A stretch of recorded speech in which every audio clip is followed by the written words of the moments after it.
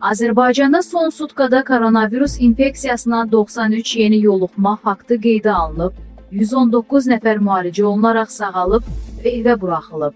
Yeniyavaz.com xəbər verir ki, bu barədə Nazirlər Kabineti yanında operativ qərargah məlumat yayıb. Son sutkada COVID-19-dan 5 nəfər vəfat edib.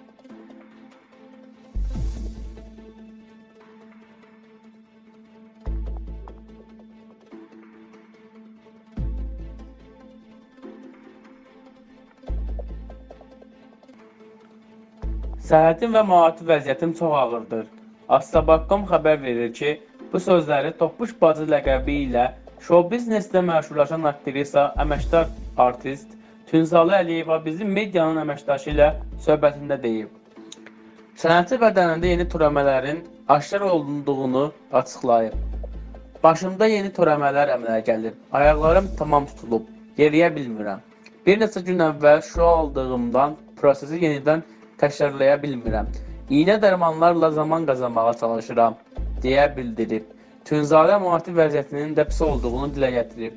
Maddi yardıma böyük ehtiyacım var, amma təəssüf ki, kimsə yardım etmir, deyə o bildirib.